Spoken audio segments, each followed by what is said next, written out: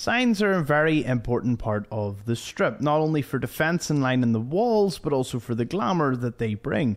Now, Michael Angelo's shop is located right beside the Vault 21 Hotel and the embassy itself. Now, I'd show you in the Pip Boy, but uh, there ain't that much other than just going to the North Gate and uh, walking all the way down to the back here. Now, let's go inside and see what we can find. There is a wee unique item, and there's a few Easter eggs here and there. It used to be an H&H Tool Company building, where I think they actually did produce signs back in the day, or maybe something more industrial. Now, let's have a wee wander around here. There's two named characters. There's obviously Michael Angelo you can find, which is actually Sarah's brother from Vault 21. There's also this really cool Sunset Sarsaparilla sign that I just love. I would actually love one in real life that size. Hmm, you never know. About crazier things, I suppose. Kate here has no interactions, no quest line or anything, uh, which is a bit of a shame because I would have liked this place to be a little more fleshed out. But we all know the way Fallout New Vegas went when it was rushed there are schematics here for a billboard. Now, what I'm imagining is it was part of some cut content and you were meant to use this in a quest or someone was going to build specific signs. Now, I did promise you an Easter egg and I'm going to deliver on that promise. Going in here to Michael Angelo's, you can see a sign. Now, for any avid Fallout player, you'll know exactly what this is.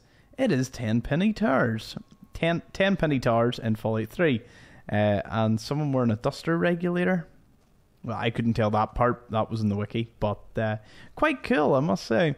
The refrigerator is brand new, very rare sight in the wasteland. He's got a wee TV set up that probably doesn't work that much. You can chat to him. He's normally just you know sleeping over here, and you can read his terminal where he's talking back and forth with his sister. Now, Michael doesn't go out that much, so he will send you on a quest to uh, find some inspiration for him, sending you to the likes of uh, the Dinky Dinosaur in Novac. Uh, be sure to check out that quest if uh, if you want to learn a wee bit more about the place. There is no exit out the back, and there is this. Now, I need you to help me with this one. I've checked the wiki, and apparently this is meant to do something or turn the lights on in the back, or I see I've flicked it on and off a few times, and I don't really know what it's meant to do. So that's a curious one for you. If any of you find out, let me know, and I will pin that comment because I would be curious, curious to know. It says at the back. I, have went outside the building. I don't know. I don't know. It's a very rare occasion. I just don't know. So I wouldn't mind a wee bit of help on that one. Other than that, that's Michael Angelo's workshop. Easy peasy. We'll be moving on to our next occasion, which is the NCR Embassy. I will catch us all over there. Thank you.